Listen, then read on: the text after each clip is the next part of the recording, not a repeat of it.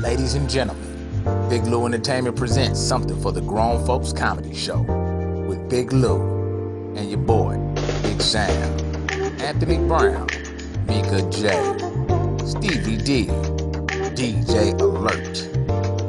Rounding off the second half, you have Novakane, Brandon Wiley, Jose Rain, Carly Carr, Roger Rod, Franz Casas, and Black Casper. Then we have Sacramento's finest, Swiss, the Big Cheese, and Big Charlie.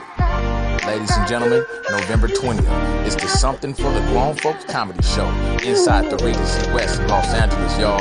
Come on out. It's hosted by comedian Novakane and brought to you by my man, your man, the biggest man in comedy, Big Lou.